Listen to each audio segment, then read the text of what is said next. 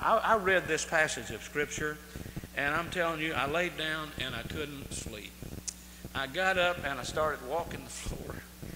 And I began to see things here that have a relationship to where we are. And uh, I, I want to spiritualize on this, and yet, you know, I don't want to personalize it too much, but um, I just want to share some thoughts that uh, I, I'm excited about that I believe God wants to help us in our future. In the book of Haggai, in the book of Haggai, for you that have Thompson Chain Reference Bibles, it's on page 995.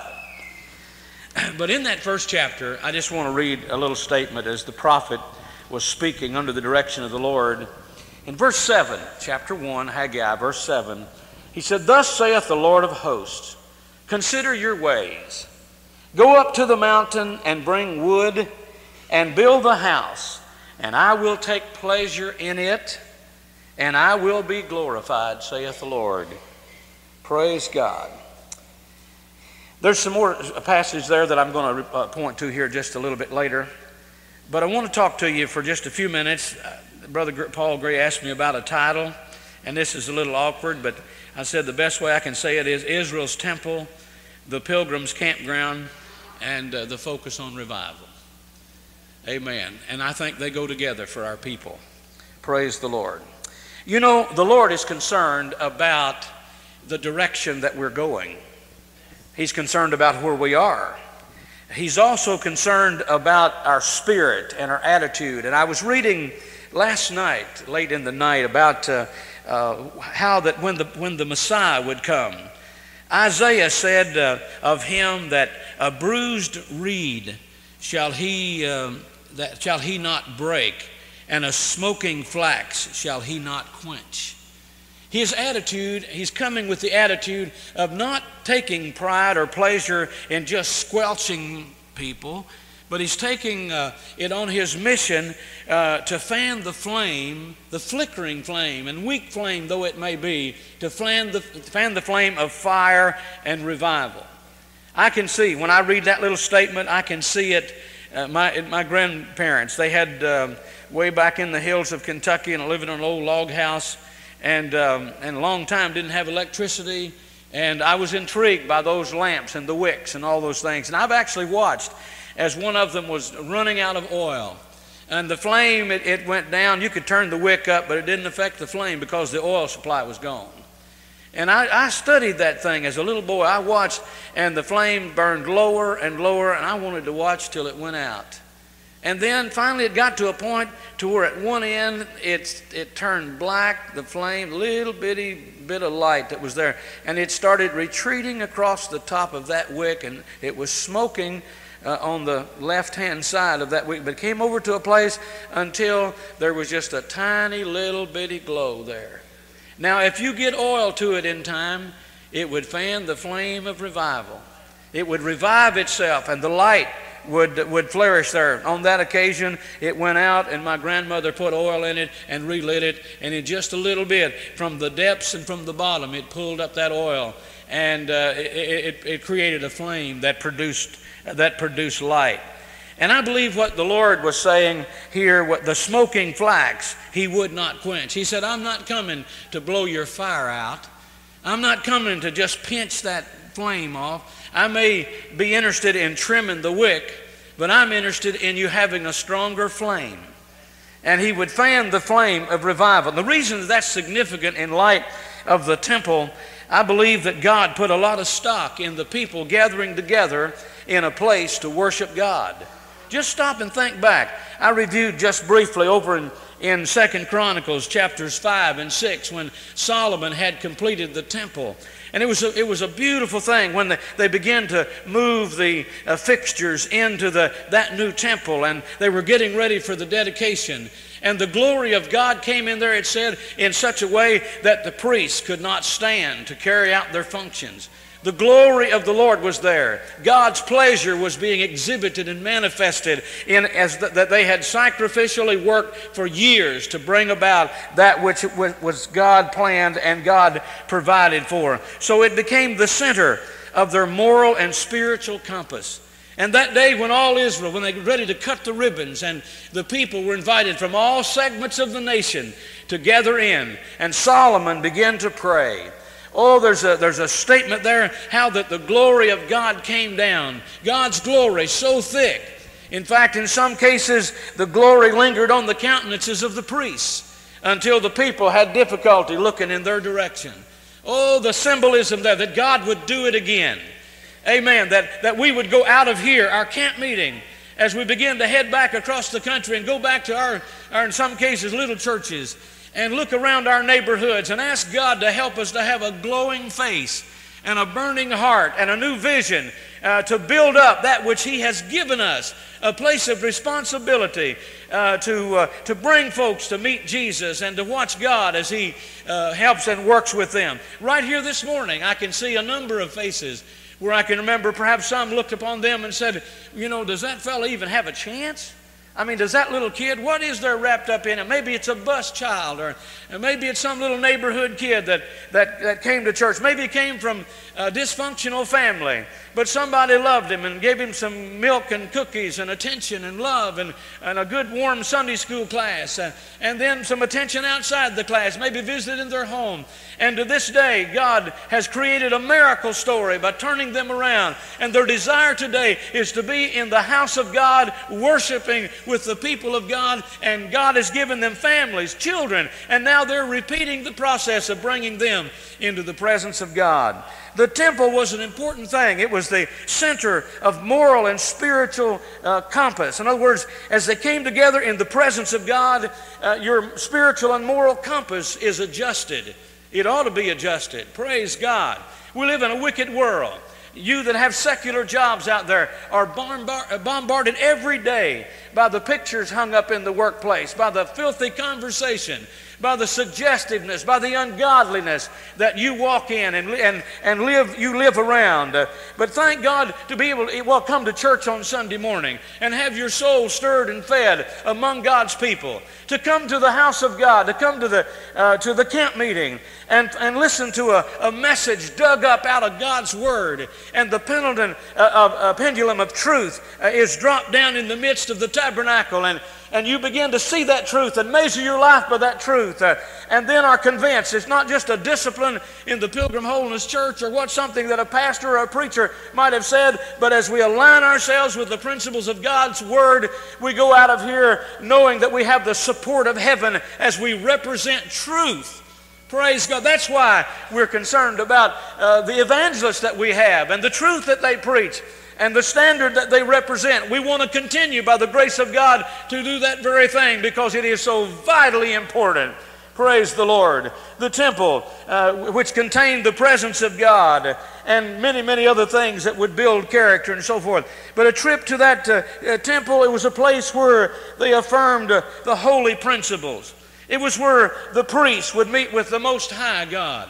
In our dispensation this morning and in other services, I do thank God that that wall is broken down. I thank God that that, that, that, that veil has been rent and we can approach the God of the mercy seat through the Son of God and make our petitions known to Him and have a direct relationship with Him. Praise God. And you know, he comes to reaffirm, to affirm, and then to reaffirm holy principles that he's given us. Praise God for that. In other words, in this day, the Most High God, he becomes the Most Nigh God. Hallelujah. Praise his wonderful name. In our day, it's to exalt Christ. He said, If I be lifted up, I'll draw all men unto me. It's to expound the Word of God, it's to expect the visitation of the blessed Holy Ghost. Amen. And really, what we become are keepers of the gate or overseers of this priceless treasure. We do have a responsibility. And all of us, the fanners of the flame, if you will. Praise the Lord. I tugging in the back of my mind. There's a, uh, something that perhaps I ought to share with you because it's come back to me again and again, and it's right there right now. I remember so well back there in days when we were at Bible school and I thank God for some of you that we went to Bible school with that are here with us today.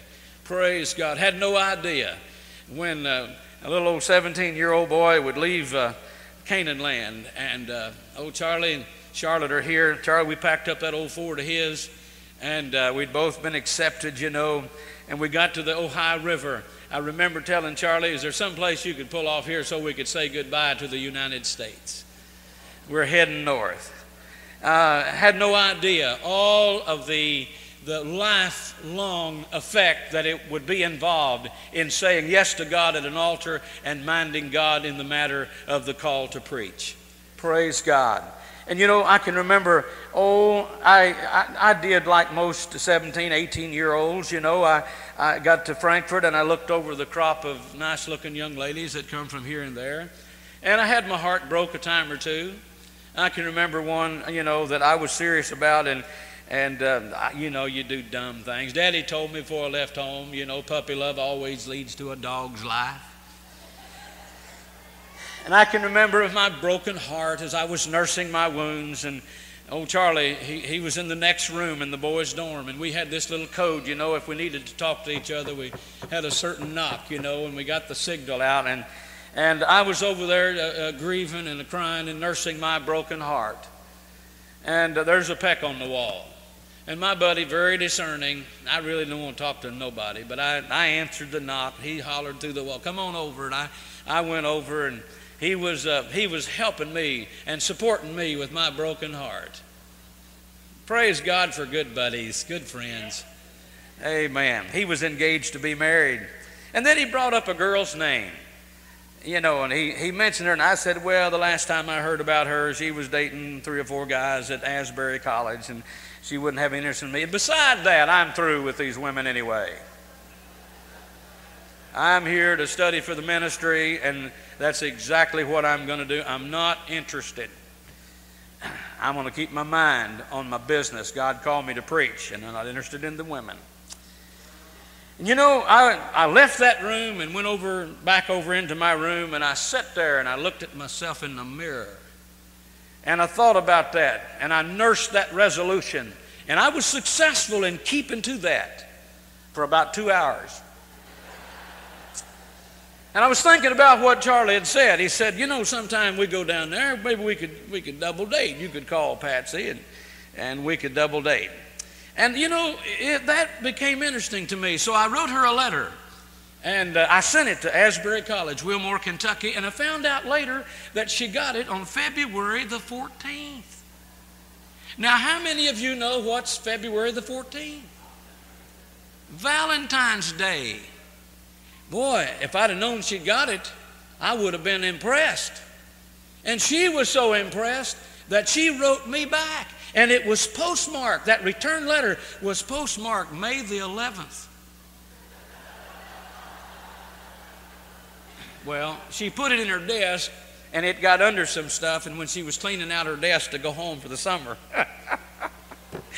boy, I impressed her.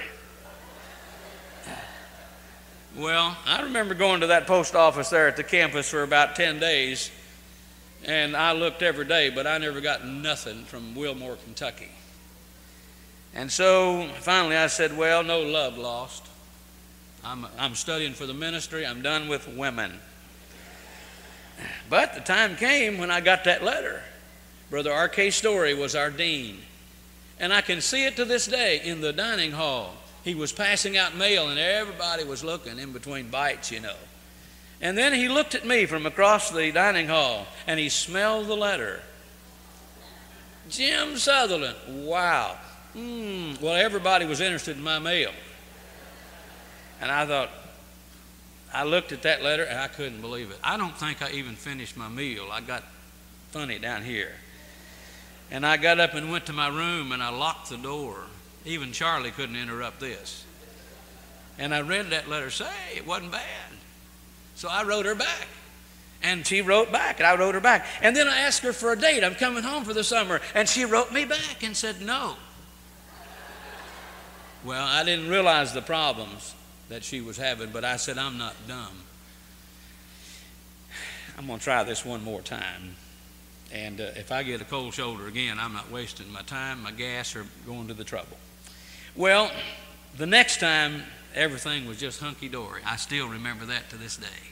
We visited the old Pilgrim Holiness campground, had a double date with Charlie and Charlotte, had a good time. And that was the beginning. Man, I was head over heels, I was lost. But I tried not to put on like that. And, but you know, the time came as it got more serious and more serious, and I felt in my heart when I prayed that she was the one. And um, she was going to a place where they had a different standard than we had. Now, she came from the same background that I came from, but I, there was a noticeable difference and an effect that where she was going had on her. And it does affect, and it will affect you, friend. It will.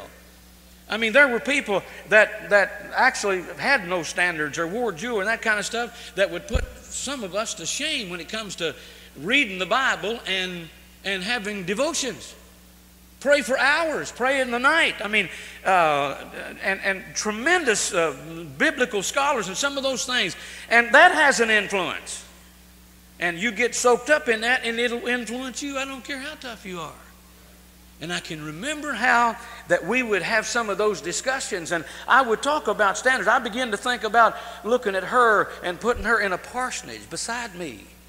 I began to think about, uh, you know, taking her to revival meetings and having her as a part of our ministry. And so we began to talk seriously about standards of separation. I'll never forget, that even on the very first date, she got to fiddling with her bangs. And I was shocked to find out, I mean, she had them cut off way up here. And I can still see it. We were, well, I can still see it. And uh, I said, you know, there's some things that, that I've already settled in my heart that I, I preach against. And I'm going to stand against some of this stuff. I feel like it's biblical and scriptural, and I'm not going. And I really do like you, but uh, I don't expect to be dating a woman that cuts her hair. And boy, I can see her. She sat up and she looked around at me and she said, Who cuts their hair? Well, I said, You do. She said, I do not. And I took my fingernail and made a red mark. I said, What is that? Well, that's not my hair, that's my bangs. Wow. I got a new revelation. And then she proceeded to say, Well, let me tell you something. You're not going to tell me what I can do and what I can't do. Mm-hmm. And I said, Well, that's right. That's right. Man, you are 18 years old. You are an adult. And I'm going to tell you what to do? No way. I'm not even going to try. But I want to tell you this one thing. If you ever put your scissors in that hair again, I can promise you this I won't be back. Oh. Are you all still with me? Uh, you know, you say, well, Brother Southerland, is that that serious? In principle, it was. Absolutely. And then it was one thing after another that we just kind of, and I can remember taking her back to Wilmore, and, and I can remember we would pray before I'd let her out of the car, and we would bawl and cry, and I would say, Lord, would you please show this woman some things? And I heard her crying and praying and said, Lord, would you please show me? I thought all you got to do is listen. And we would do that. We'd have wonderful, wonderful times and go to church together, sing together. And she would support me in my preaching, but we'd get to talking about these serious issues, you know, as I took her back from, from, from the date and delivered her, you know, at the, at the college. And boy, we would cry and pray and, and about these things because I knew they were serious. And I want to tell you something. You know, I'm just losing my message, aren't I? But this is important. And I remember the time came when I got tired of the fight. I got tired of the pressure. And I got tired of it. It was, you know, I was holding down a job, working my way through school, trying, had four hours I could sleep a night, and then work a full, um, I think, 48 hours a week, and then try to study.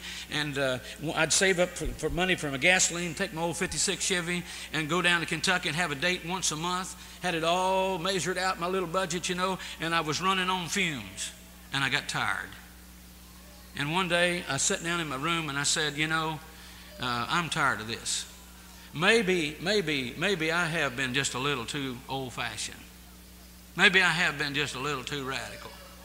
I remember being called in by the dean of, of students, and compromise was in the wind. And he called me. I had a revival, and, and, and in that revival meeting, there were some of those, uh, uh, uh there was uh, five boxes of jewelry left on this side of the altar. I mean, of people that prayed through and got help from God. People were stripping for the race, and God was giving people conviction. It got back down to the school, and he called me in, you know, and, uh, and said something like, uh, I'd like to know, but what authority you have to preach against jewelry? I couldn't believe it. Well, what are these people doing talking about wearing sleeves? Where do you get this stuff? I mean, just one thing. Boy, he, he had a pretty good ear honed in on my revivals 100 miles away. Somebody reported to him. And you know, I remember I said something like this I said, You know, I love you, brother. And I do respect you and I appreciate you. I would think that you ought to be calling students in here and just tell them what, that they ought to, you ought to kind of buck them up and you ought to say, you need to take your stand. You need to hold to the old paths. You need to keep to these principles. And here you are calling me into question. But I want to tell you, sir, and I wasn't smart, and, and I loved that man till the day he died. And I still love him. I appreciate what he invested in me. But I can remember as, as God prompted my heart, I said, if you're trying to say in a subtle way that I need to, you know, to just become a little more liberal, if that's what you're saying, you got to me too late. We got a problem. Because God's already told me some things that I'm supposed to do, and I, that measures way above the opinions of any man. But I was telling you about how that I was in that room and, and, and, and, and I got to, you know, I'm just tired. And I, and I, I just said, well, maybe I've been just a little too radical, too straight, this kind of thing. I didn't think anything about it. But over the next, I was preaching somewhere every week. And over the course of that next month, the door slammed shut. I didn't even think about it first. I know one thing I couldn't pray through. And then I wrecked my car. I mean, hit a guy, slammed brushed down the side of his car. There's a post, a telephone pole in the ditch, and a stone fence over here, and a guy with no tail lights stopped dead in the road in front of me on a wet, rainy road. Cars coming head on, no place to go. I slid sideways and hit a fella. Took a wrecker and dragged that old 56 Chevy in. And I went out to that old tobacco barn where I prayed a lot. And I said, God, I want to know what's going on here. What is going on? The door's closed. I can't pray. I've had this wreck. Everything I'm doing's gone in reverse. Would you please tell me? Now listen, the Lord will tell you. He'll show you. And as sure as I see your faces, all of a sudden he took me back to that dormitory room when I questioned God and the convictions that God had given me. And you know, it's one thing to glibly say something, it's another thing to have the Lord to take you to the place and have you look in on yourself. And then the Lord say, Hear this? And I heard myself say that. Not only was I horrified by what I heard myself say, I was horrified by God's attitude about it. And I said, Oh, Lord. And I repented. I asked God to forgive me. But also at the same time said, I love that girl with all my heart. But I'm going to tell you one thing I'm done arguing standards with her. I'm going to spend the rest of my life with this crowd. And if she's not going that way, she's going to have to find somebody else to go another way. I am. I, have settled it in my heart. And I can remember I went back down to pick her up. We were going over to Frankfort, Indiana. And on the way, I, I was in the edge of Frankfort from Asbury. And I said, uh, There's something I have to say. And I began to tell her what had happened up to this point. And I said, I have brought into question things that I've been preaching and have questioned God, and the Lord rebuked me. And I want you to know that I have made up my mind that this is the way it's going to be. If you're going to take a different course, I do love you, but I am releasing you. You can go your way if you're not interested in taking this way and standing beside me in these principles that I feel are very serious and precious to my heart. When I said that, the glory of God came down in that car. She'll bear witness with that. We were both crying, praising God. I mean, right there on 421 in Frankfort, Kentucky. And, I, and she began to cry, and then she scooted over real close to me. I remember it. And she said, Well, I'm going to be faithful also. I'm going to, this is the way I want to go too. Some things I don't understand, but I'm certainly not going to fight you on it. Praise God. We had a little spell right there. I might even beat the steering wheel and blow the horn a little bit. Praise God. We pulled into the driveway of the Pilgrim Holiness Church in Frankfort, Kentucky. And the girl, she was with a trio that were going to be singing in that youth service. Four weeks, five weeks. I hadn't been asked to preach one time, and it's probably a good thing, as dead and empty as I was. But the pastor met me at the door and said, Jim, I don't know why I didn't think about this before, but could you preach tonight? I said, wow. And I looked at Patsy. I said, huh, look at that. Yeah. And I had the help of God. Praise the Lord. And God's glory. Came. That might not mean a thing to you. But I want to tell you, over these years, that was when we were engaged before we were married. But over these years, I've gone back many, many times to that place, and I don't want to violate that sacred trust that God gave me at that time. Praise God forever. And I want to tell you, that's what camp meeting's about. That's what can, that's why again we have the evangelist uh, that we do and the emphasis that we do. And God, we need to repeat those things over and over and over again. Amen. I'm not interested in turning a, a real radical turn to the right or a turn to the left. God's instruction to me is to go right down the center of the road and to keep the atmosphere spiritual, to mind God, to emphasize the truth, and to continue to drop that plumb line of God's Word. Praise God. Look at the circumstance of these people. They were unclear uh, in their concept of time because the first question they asked, he said, The people say, The time is not come, the time is not come. Some of them had come back from captivity, and now here they were spending time on their houses. He said, You have ceiled your houses, which the word ceil there means like wainscoting. In other words, they were spending their resources making their houses real pretty. Not just the basics, but they were spending money in decorating and interior decorating. And in its place, there's nothing wrong with that. But while they were doing that, they were letting the temple just fall into ruins. And what God was doing is saying, He said, You say it's not time. I mean, they were weary. They were taking pride in their own affairs and in their own home. But at the same time, while the enemy was keeping them overly busy there, the focus of attention was away from the place of, of the spiritual spring well the place where God uh, taught them uh, to come together in the house of God. So they were unclear uh, in their concept of time. I looked over in First Chronicles chapter 12, and I found there, you know, when Saul had uh, been defeated and, and the country was in disarray. And here was David, who had been anointed king way back uh, there, had been hiding for his own life. And, and now, out of all this confusion and political chaos, all of a sudden, God began to put it in the hearts of good thinking men and there were some good women that stood by them, but they were warring men. They were wise men. They had an understanding of the times and knew what Israel ought to do. And with that revelation, God brought them together to pool their resources and to come together. And eventually, the nation was restored, and the temple was restored, and worship was restored. Now, here, these people, they had lost their concept of time. Pardon me, they had an unbalanced sense of priorities. Your house or my house, God was saying. What's your emphasis going to be? they had an unclear view of the path that they were on because God said two or three times, Consider your ways. Consider your ways. Stop and think about where you're going, the direction you're going.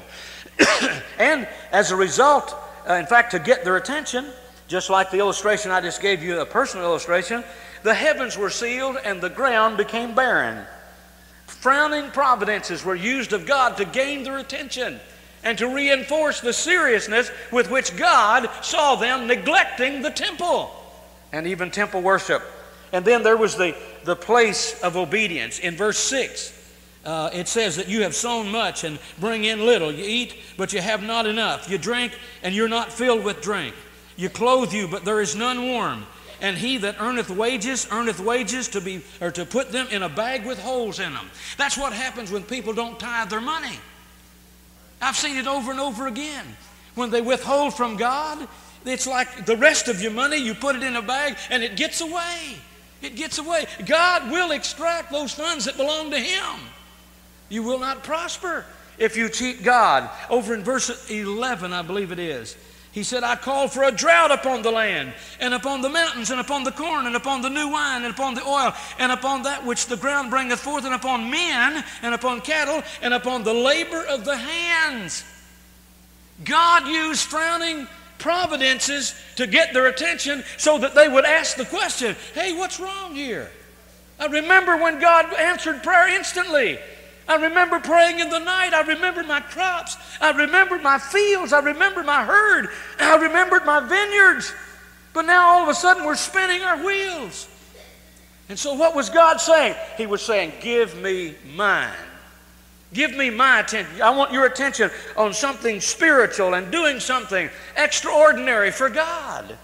I thank God for whatever He has to do uh, to uh, get our attention and to, remind us of our circumstance. There's the circumstance of the people, there's the command of God. Consider your ways. Theirs was a way of self interest, a way of ease and of comfort. It was a command of divine origin. He said, here was God saying to the people through Haggai, go up to the mountain, bring wood, and build. Praise God. Oh, up. You're making progress when you're minding God. Go up to the mountain. There's work involved, there's some blood and sweat and tears involved, but go up to the mountain. And anybody that brings wood know that it just doesn't happen to fall on your little wagon so you can roll it down the hill. I mean, even with the chainsaw, it doesn't take one lick till the sweat's a pouring. There's work involved, there's hand labor involved, there's purposeful energy involved. Then he said, I want you to build.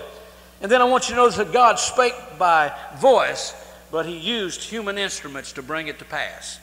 There's the circumstance of the people, the command of God. Then there's the challenge of the task, the enormity of the task. It was no small thing, it was a big job. But you look at that foundation that's poured, and you start down there with the basics, and I'm finding out long before that you know, a lot of times Kentucky and West Virginia and some of those places, they found a place to to build and they'd dig a hole and, and uh, kind of sight it, you know.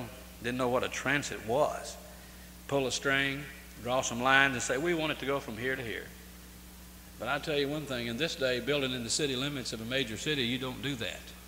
You've got to talk to engineers. I thought that was somebody that run a train. But I find out that's a different whistle, brother and it's expensive, but it has to be done. And I understand the principle and the reason for it. But there's the drawings, there's all the planning, all those things. And your structure is only going to last and be as good as the plans you put in it before you turn the first shovel of dirt. And, and, and, and I want to see something that's going to last when I'm long gone, if I'd live to be 85 years old. Uh, you look at that crowd of young children that were up here today. Man, it wound up in my heart. I said, that's what I have in mind for our camp future. We're, we're building to have a sanctuary against the world, but, but have the right kind of spiritual diet and the right kind of preaching and the right kind of examples. Praise God. Somewhere down the line, when the Victory Trio, another 30 years, are in rocking chairs and thinking about Pilgrim Camp, God will raise up some more. Amen. And there will be more children, and there will be your children's children. I believe God has that in mind. I do. I really do with all my heart. But he spake, God, the command of God. And then there's the challenge, the enormity of the task. And then there's the need for committed laborers. Folks, we live in a day when people don't like to be committed to anything. You talk to them about membership sometime, and you can find out what their commitment is. Well, I'm not sure, you know.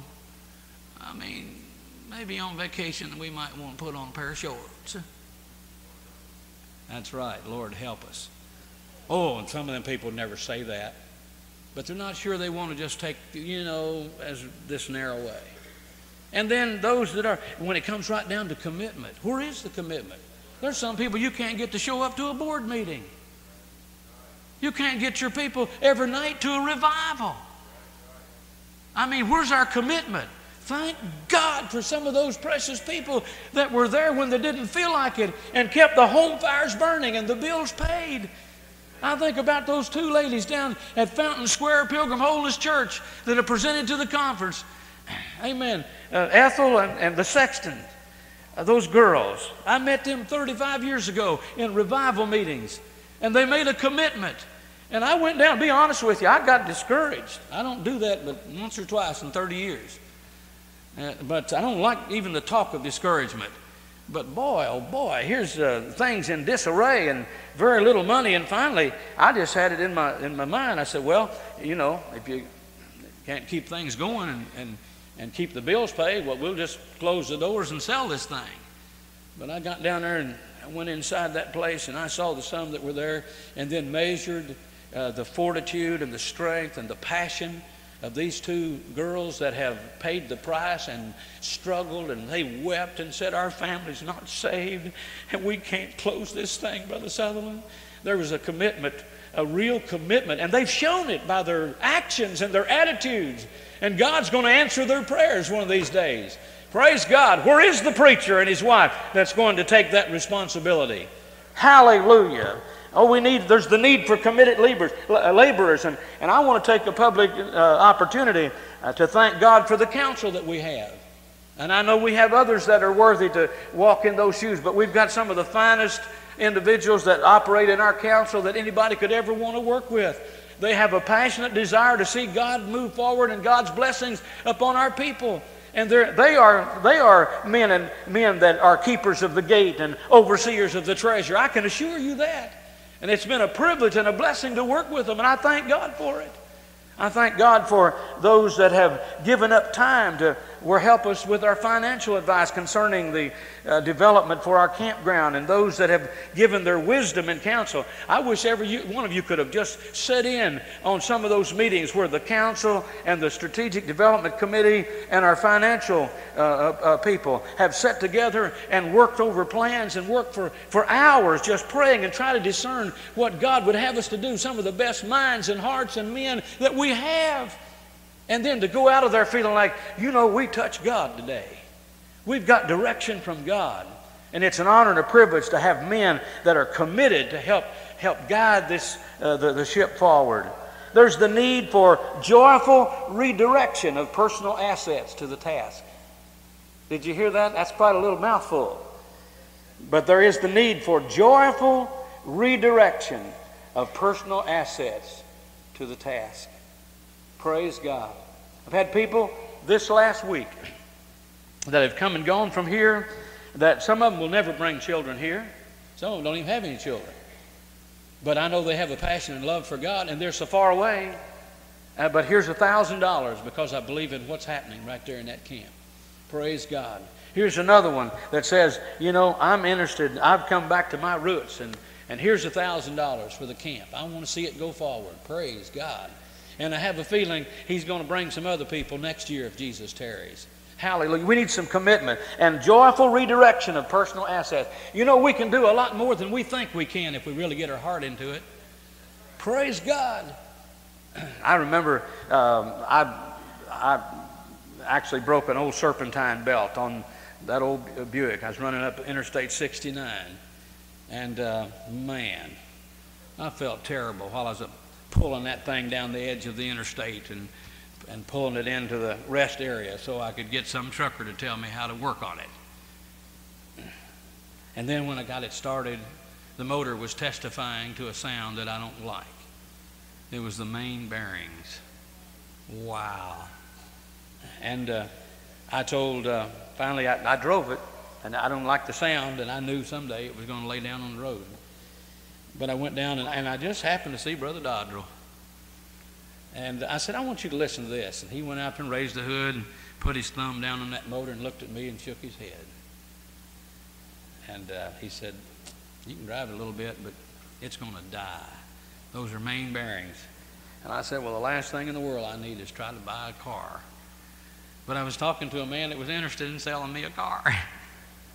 he said, he said, hey, just take this one that I've got here. Said the book price on it's only $12,000.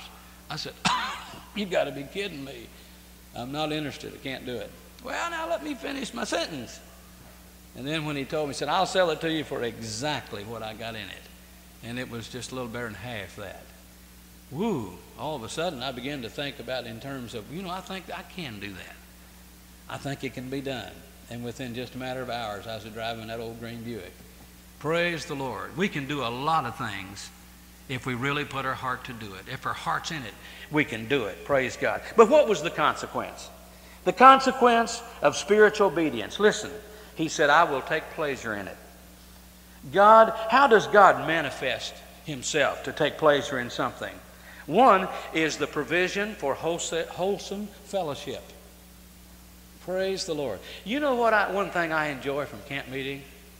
You know that round table over there that's about 30 feet from that coffee place over there? Thank you. You know when the fishermen come to tell their stories and they gather around that table during the course of the year? Oh, Brother Howard Clark, if he's here, I'd, I'd still say this. You know, he said he had a carpal tunnel problem. And he said, when you see Brother Leach, you tell him it's from catching them big fish. And I told Brother Leach, and he said, when you see him, you tell him it's from wrestling around with all that bunch of little old brim about that long. Amen. I love good Christian fellowship. I said this, is this the Spit and Whittle Club over here? But the blessedness of fellowship, praise God. And then to, to gather in an early morning prayer meeting and to carry the load together and to pray together. And then to see uh, God bring folks to the, to the camp meeting and, and you see one pray through and another pray through. And you come back this year and you see they've kept the victory over the year and they brought somebody with them. Praise God. And you go to the youth camp. And I told my wife, I said, honey, who in the world are all these youngins? Some of them I don't even know. And it's, I'm embarrassed to find out that it's some preacher's kid or grandkid. And last time I saw them, they were about four days old. they were just little bitty things. But they grow up. I remember youth camp the other day, old Jeremy Fish pulled up there in his truck and he said, Brother Southern, look over yonder. And I looked over yonder and I said, Okay, what am I looking at? He said, That's my boy over there. It was just last year. He said, I was one of them over there. It seemed like just last year. But time has transpired. This is the first year he's old enough to be involved over there. And I tell you, when Brother Beecher preached his message and asked for folks that wanted to make a commitment for God, to do something for God, I was praying, and here was that fine group across here. And I opened my eyes, and there was the same little old 13 year old kid right there in front of me. I put my hand on his head and I prayed that God would use him. Praise God. That's what camp meeting is about. It's a transferring of the godly heritage from one generation to another generation. I'll tell you what I'm tired of is wrestling with a camp meeting date and wondering if we are going to have the, the place that we can rent. All you got to do is get crossways with, with somebody and you will be sent packing because you don't own anything. But I believe God wants to remedy that. I believe He's in in the process of remedying that. Praise God. Uh, there's a good feeling down the road in Anderson when we've gone down through there. I will, I will take pleasure in it. God manifests His pleasure through wholesome fellowship, uh, through saturating glory. When God is pleased, the glory of God comes. Hallelujah. And we've seen some, but I'd love to see that real breaking through till everything is shattered and people are weeping their way through to God. Amen. And being sanctified holy and being challenged by the Holy Ghost to go out and do something for God. Hallelujah. I wish we had a group of, of, fired up, filled up young people that we could just send on the road to, to some uh, two or three or four of these little dying churches and come in there for a week or six weeks at a time and pray the glory down and fill that place up and give them a spiritual charge. Hallelujah. And then God said that He would bless their offerings. He said, I will take pleasure in them. I'll bless your offering. He said, Try me and see, saith the Lord. Bring your tithes and offerings into the storehouse, and I'll pour you out a blessing that you cannot contain. Jim Southerland didn't say that. Brother Gray didn't say that. God said that. And there is a principle that is alive and well in 2005. Amen. If we mind God and we give sacrificially, God will bring it back to you. And, and then sanctify the place in edification. I like to come to a place where my soul is edified. Man, I tell you, there's devils and demons out yonder, but it's a wonderful thing to come to camp in a gathering of God's people and feel your heart energized and go away from here breathing praises to Almighty God. We've been edified. Who in the world likes to go into a local church and whatever's been going on there in the shadows or in public, like to come out there dragging their, their problems with you home? Isn't that horrible? But I tell you, I like to go to a place where there's edification. I've been in places where as soon as the amen was said, people started hitting the exits and heading for the parking lot. I had one young pastor say one time, he said, Boy, Brother Southern, I don't, these people, you know, you could preach another message. They stand around for 45 minutes talking. And I said, You better thank God for that, my friend. When they start hitting the exits, that's when you need to get worried. Thank God. You go out there and there's all that ungodliness out there in the world, and the only time, a lot of times, that we see one another and see people of like faith is in the house of God or some time of fellowship. Amen. When, when God is taking pleasure in His people, you just kind of like to subconsciously linger in the presence of God, in that atmosphere. And then another uh, consequence, or the way God manifests His pleasure, is peace among the brethren. I like peace. I praise God for peace. Joy unspeakable and full of glory, and the peace of God. And then there's full hearts in marital relationships.